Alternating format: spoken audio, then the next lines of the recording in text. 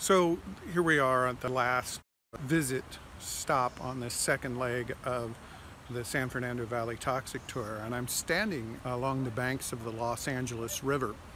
This is a, a rather natural part. Most of it of course has been turned into a concrete ditch um, but there are efforts uh, to restore it. But the point of coming here is to remind you that the LA River still has natural elements.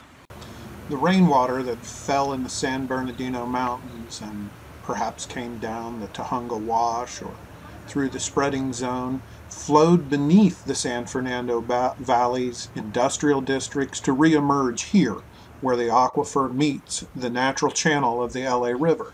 The LA River in its natural state also represents a fabulous recreational resource, a place to get away from the toxicity of the rest of the city, but it also could be a source of clean drinking water that's increasingly important as climate change makes our over-reliance on distant water sources uh, far more precarious. But once you pollute the aquifer, it's almost impossible to unpollute it. So our vigilance against additional groundwater intrusion has to be maintained.